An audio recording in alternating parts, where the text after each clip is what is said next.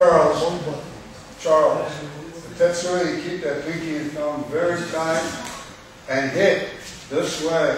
Don't, don't do this. Hit straight like a hammer. It's a hammered fist. Hammered fist.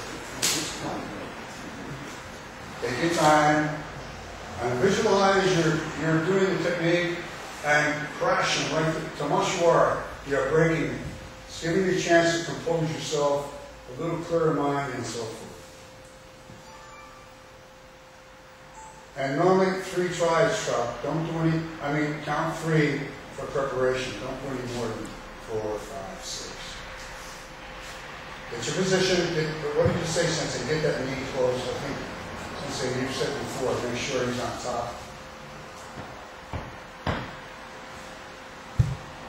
Drop that right knee.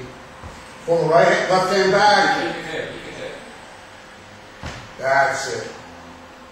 Carry very, very strong, keep it tight.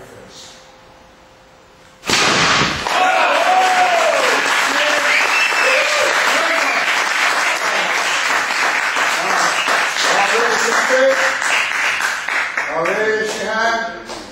Feet. And all ready class. Good job. Good job. Nice break. Almost like your break. Chuck, very good. And, Chuck, you may take that home to Leslie and say, see, we'll even autograph it for you. All the students autograph it. Oh, one thing I want to tell you,